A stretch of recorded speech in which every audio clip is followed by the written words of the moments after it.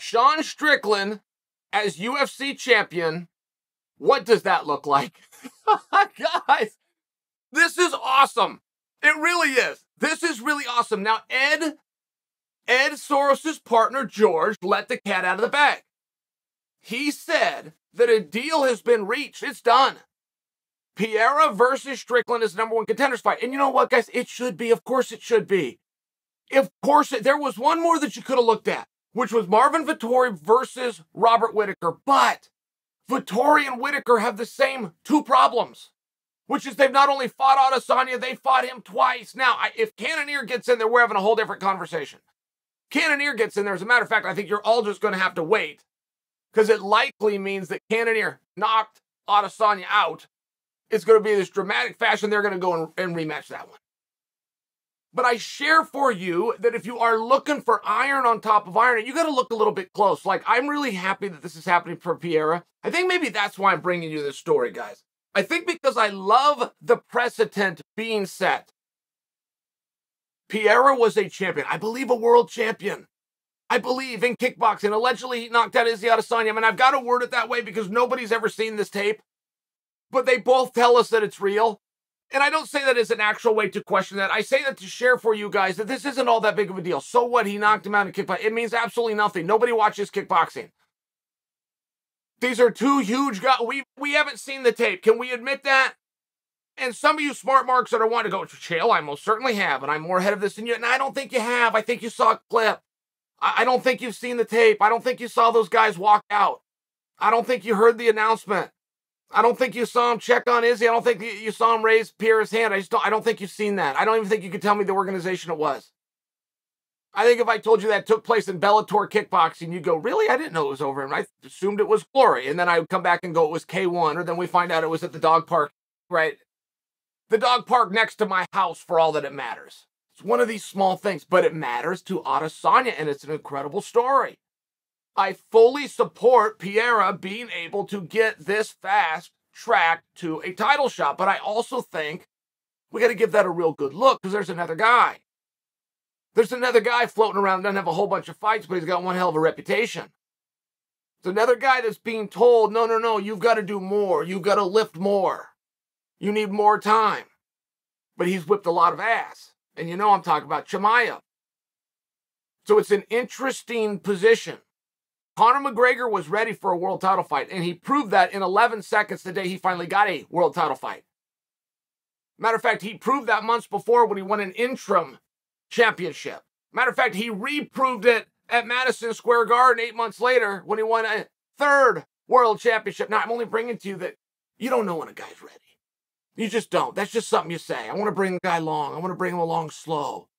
I have a plan. I have a strategy. I mean, these are just these are things that you say. You don't know when the guy's ready. He doesn't know when he's ready. Nobody knows. You got you got to do the fight that you can do when you can do it. You got to win the fight that you can win when you can win it. That's a very important philosophy. Like I had to grow up on that. That's a little bit of Ron Finley in me speaking right there. That was the head coach of the University of Oregon, but guys were given a redshirt year. You elect to take a redshirt year, and sometimes you need that guy that guy that's planning to stay on ice, that you need him right now. And Finley would say that you got to win the matches you can win when you can win them. Don't put a guy that can get his hand raised off for 12 months. Don't do it. If he can get the get the blue ribbon right now, put his ass out there right now. I only share that because I, I love the idea. Of course, of course, Sean Strickland. For goodness sakes, I think Sean Strickland could have stood up and butted heads and taken this opportunity away from Cannonier, which, by the way, I got to change a little something on my tone. I can't remember the last time I said anything nice about Jared Cannonier. And I swear to goodness to you guys that listen to me all the time, I have never meant to say anything bad. I just always put a little spice on it, don't I? Well, Jared Cannonier became a number one contender in a fight that he didn't win a single round in. Like, that stuff's true. Jared Cannonier is a stud. And by the way, I met him. He couldn't have been a nicer guy to me. You know, he's getting this opportunity because he's such a nice guy. I love this part of the story. And I, I, feel as though Dana and company don't see the promotional side of this. And so they're almost burying it. But I, I just, I want to bring it back. Jared Cannonier ran, shows up to a UFC by himself. You get two tickets when you're a guest of the UFC. He shows up, he didn't have a date. So he goes over to the seat that they tell him to sit in. He happens to be next to Adesanya. So Adesanya sees him come up. Oh, great. I'm going to put up with this crap. Guy within division. I have to put up with this all night long. Cannonier's a great guy to him. They end up being each other's company because Adesanya was solo as well. Now, now they're buddies. Now said, "Hey, I'm getting a, I'm getting a soft drink. Uh, Jared, you want one? I'll be right back." Right? It's one of these situations. They end up being friends. Adesanya comes out the back end of it. Media, of course, goes and asks about it. Hey, heard you with Jared Cannonier all night. Bet he was in your ear. Said, man, it was just the opposite. you know what? I'm gonna fight that guy. I'm gonna fight that guy because if I have an opportunity, I'm gonna give it to somebody I like. I'm gonna give it to Jared Cannonier, and he did. He did. Nobody controls their career in the history of the Ultimate Fighting Championship. Nobody. As well as Izzy Adesanya. Israel Adesanya has picked every opponent that he has had since Robert Whitaker. And I was there and watched it. This is the night that he, as as he, he defends the interim title. You guys remember that? It's one of the great lines of Izzy Adesanya. Another great line that he didn't get credit for.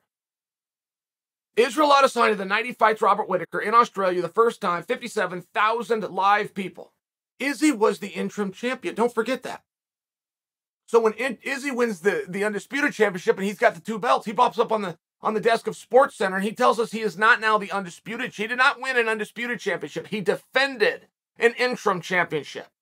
He is now a two-time interim champion which I just loved. But by the way, before he got to Sports Center, he was still down in the octagon. Robert Whitaker is being exited out stage left. And Izzy turns his attention in front of a live viewing audience and 57,000 in attendance and puts it right on Paulo Costa. I mean, this guy has controlled his career, got Yoel Romero off of a loss. 40 plus years old, coming off of a loss. He wants him, he got him. Now he wants to do Cannonier a solid because the, the guy was nice to him over a couple soft drinks and a couple of nachos. I don't hate that story. I get where that is anti-climatic in the world of fight promotion, but it is unique.